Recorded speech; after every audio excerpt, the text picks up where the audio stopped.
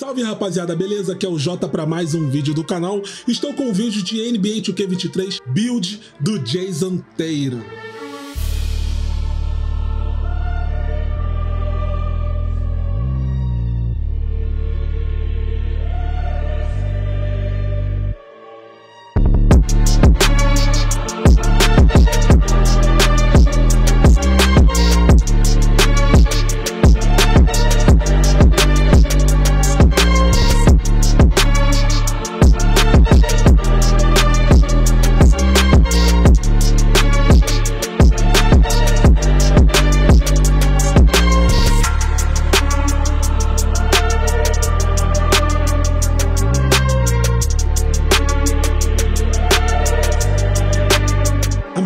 Vocês sabe, eu sou torcedor do Boston Celtics e eu acompanho o Tatum desde a sua primeira sexta na NBA e eu tenho certeza que eu assisti todas as sextas dele na NBA sem perder nenhuma. Essa é a minha visão do, do Jason Tatum no NBA 2K.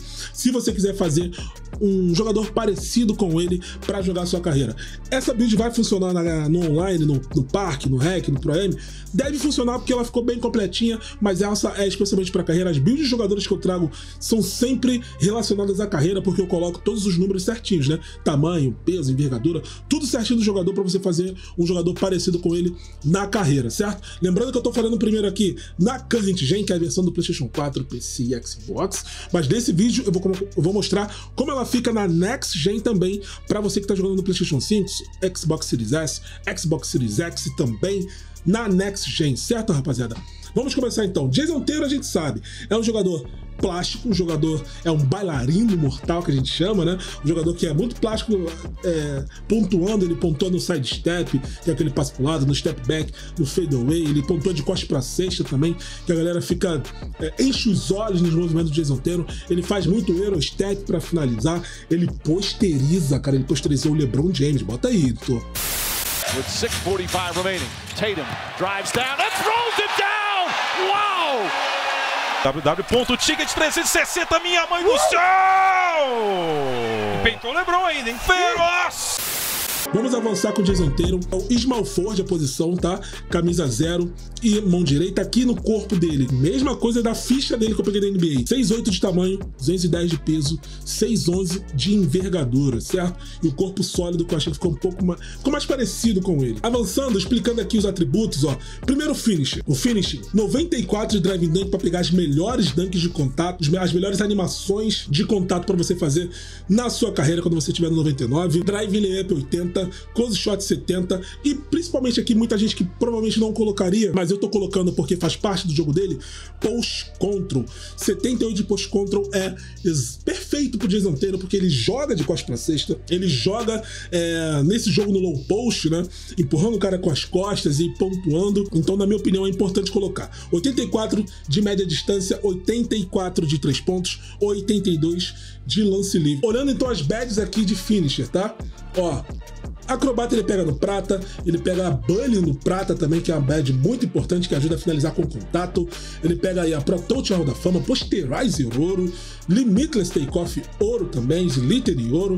Então, Giant Layer Hall da Fama é um jogador que vai ficar com um finisher muito forte para sua carreira e o finish nesse 2K23 está muito bom. E aqui nos atributos de arremesso, 84 de média distância, 84 de 3 pontos e 82 de lance livre, perfeitos, cara. Para mim já é o suficiente para sua carreira, também para jogar no parque parque é muito bom também, porque a minha bad, a minha build principal no parque tem 87 de 3 pontos e 84 de média distância, então não é tão diferente assim.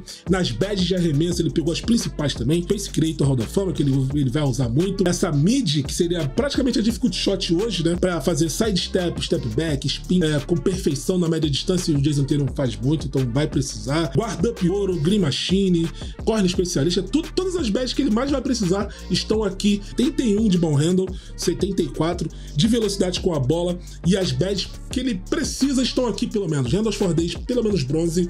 Ele tem a Dimer prata, ele tem a Bayout bronze, ele tem a Unpluckable prata também.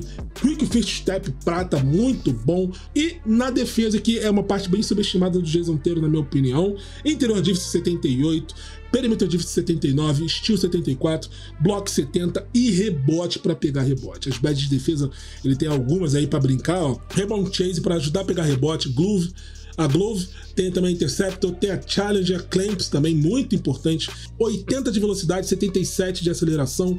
E a força, principalmente a força 82, que vai fazer você pegar a Bully, a nova badge queridinha da galera no prata, né, que te ajuda a finalizar com contato dentro do garrafão.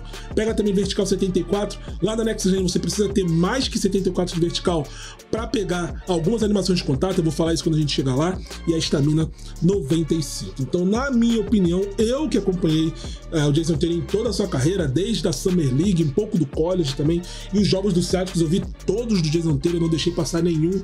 Esse, essa seria a minha visão do Jason Taylor, certo? No takeover, cara, aqui não tem erro.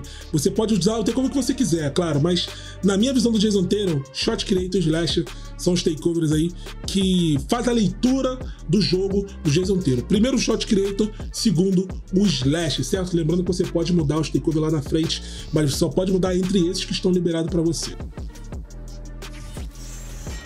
Aí tá então a build do Jason Taylor, olha só, Paul George, Jason Taylor e Richard Jefferson. No começo da carreira do Jason Taylor, muita gente comparava o Jason Taylor com o Paul George, e isso até hoje muita gente acha que o jogo, o jogo do, do Jason Taylor é muito parecido com o do Paul George. Então tá aí, comparação muito bem feita.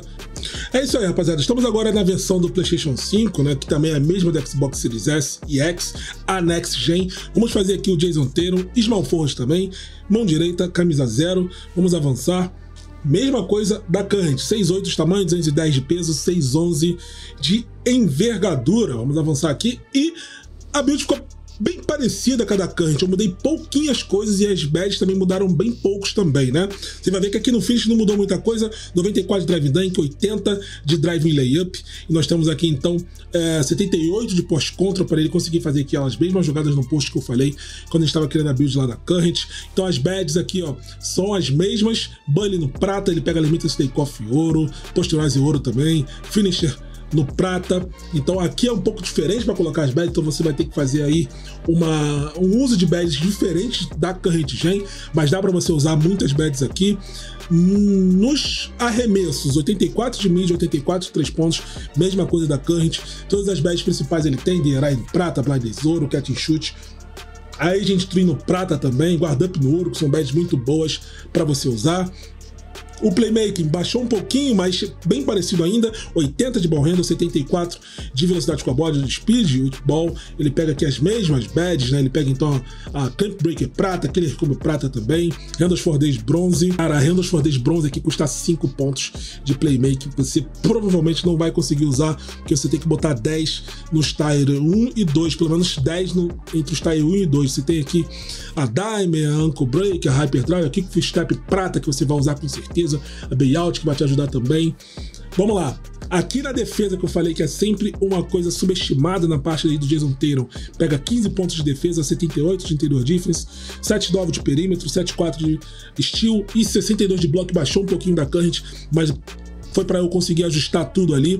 Aqui nos físicos, deixa eu tirar aqui a minha webcam da frente, nós temos então Acceleration 78, 75 de speed, 82 de força, 85 de vertical, você pode até baixar para 82 se você quiser, justamente porque já pega ali as animações de contato, mas eu vou deixar 85 mesmo, 93 de estamina, certo? Então, esse ficou, essas foram esses foram os atributos aí do Jason Taylor na Next Gen, de tudo aquilo que a gente já falou durante o vídeo. Avançando, Takeover, mesma coisa aqui. O uso de takeover é um pouco diferente, porque o de creator, por exemplo, tem três, né? Você pode escolher entre os três que você quiser, que vai combinar muito já com o dia inteiro. Tem o Negative Impact, tem o Uncle Break Shot e tem o Pull-Up Precision. Entre Pull-Up Precision e o Negative Impact é até difícil escolher um, mas eu vou pegar o Negative Impact porque ajuda no pull-up, no step back, no spin, é mais a cara do Jason Taylor.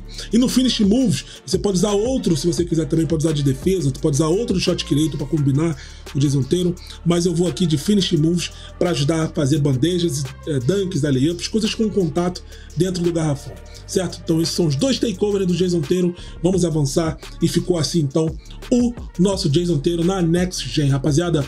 Deixe nos comentários aí quais são os jogadores que vocês querem ver a build. Olha aí, ó. Novamente, Paul George, Richard Jefferson e Jason Taylor.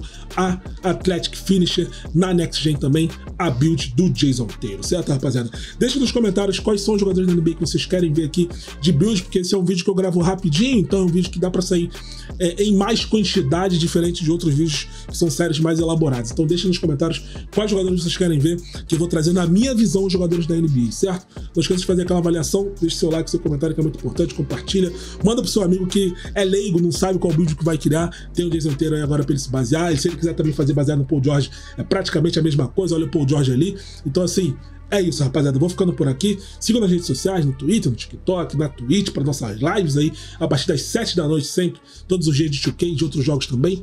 Valeu, fui.